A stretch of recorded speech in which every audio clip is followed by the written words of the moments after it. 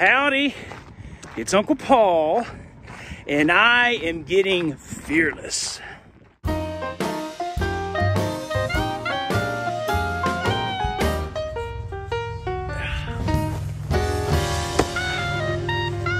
Okay, so I went on a hike this morning, had a good hike.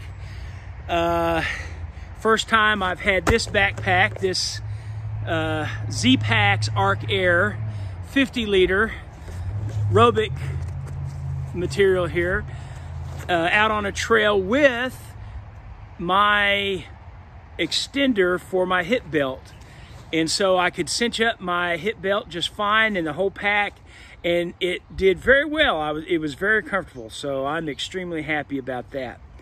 Okay, so uh, I'm getting fearless. Well, I don't guess that's exactly correct, but I am trying to uh, face some of my fears when it comes to what it is that I take with me, what it is that I've been using for years now uh, on my backpacking trips. So, hi, Hurley. Hi there.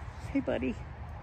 So, um, so I want to just go over a few things that I'm I'm, I'm changing uh, some of them you know that I've made the change, but I want to explain why. Okay, before I start with, with all that, let me just say that this water bottle clip here, uh, I talked about uh, in a recent video. I went ahead and got one. Uh, I had this full, of course, this morning, and it rode well. I'm, I'm very happy with it. I, I'm glad that I got this, wish I'd have had it long ago. So, okay, the first thing, the first item that I'm that I'm basically uh, changing up has to do with my sleep system. Now, I've just about always had an air up mattress, and this is a new one I just got. And along with an air up mattress, I would always bring a a Z Lite, uh, the uh, Thermarest Z Lite, the yellow and silver accordion style close uh, cell foam.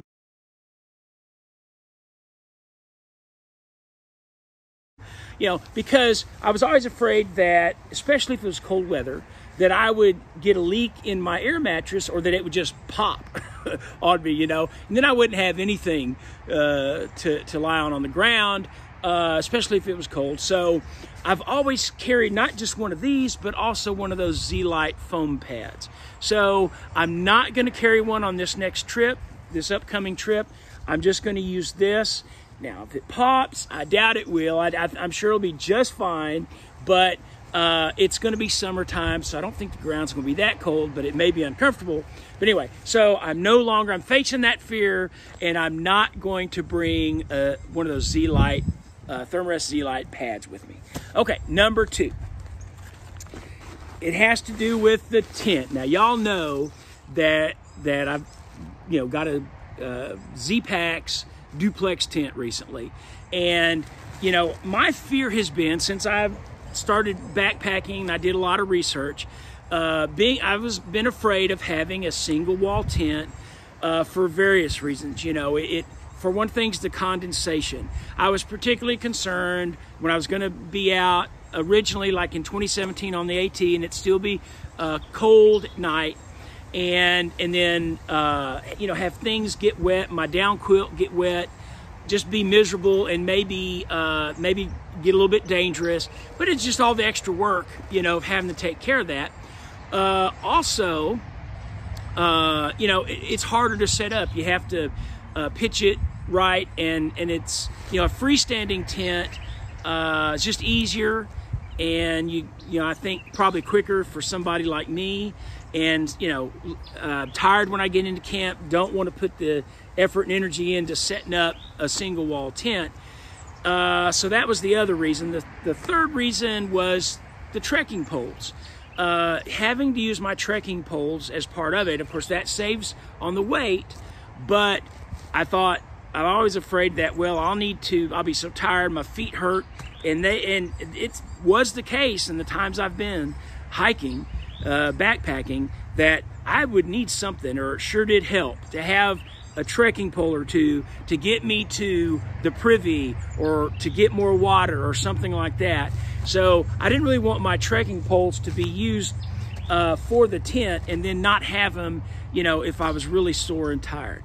So, but you know what? I'm going to face those face those fears uh, concerning my tent, and come what may, I, I love the weight savings uh, on this tent, and um, so I'm just going to make it work somehow. Okay, and then number three, it has to do with my cook system. I have not. I, I purchased this, you know, before I ever went out on the uh, AT.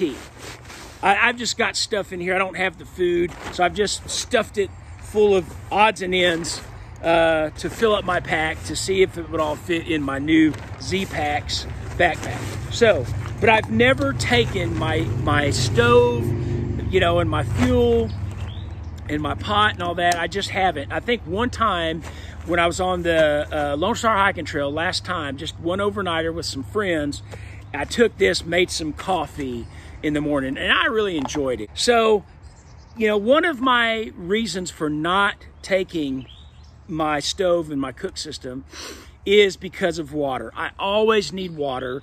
I don't like the idea of using my water, a couple of cups or more, to, to make food. And also, I'm tired. You know, once again, trying to save energy.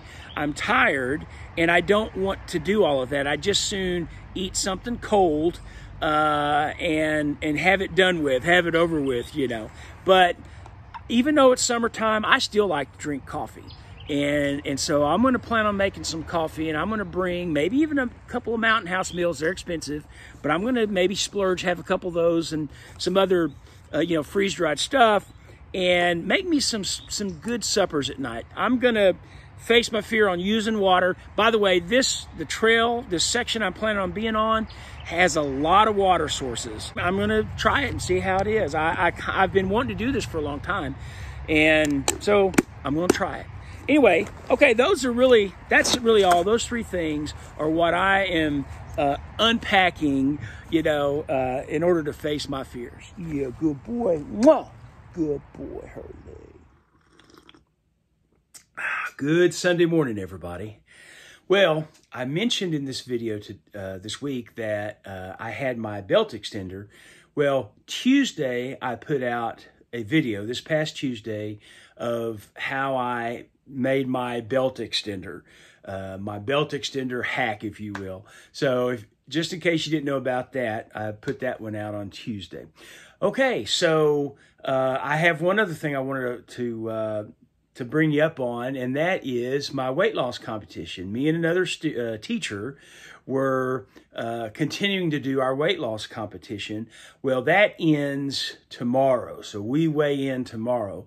Our security guard there at the school and his wife, they put vinyl on different types of things and stuff. So they offered to do uh, a trophy. So uh, he brought in a trophy, the security guard, just a few days ago, uh, this past week, and it's a legit trophy. I was thinking some little small thing, which would have been fine. It didn't need to be much at all. It was just for fun and for bragging rights. This is a heavy duty trophy. Really looks nice. So I will show that if I win this competition, I win the trophy, then I will show you guys uh, what that looks like. It's pretty cool. Anyway, guys, thank you so much for watching. Please like, comment, subscribe, and Lord willing, I will see you next week. Everybody, stay safe, be good.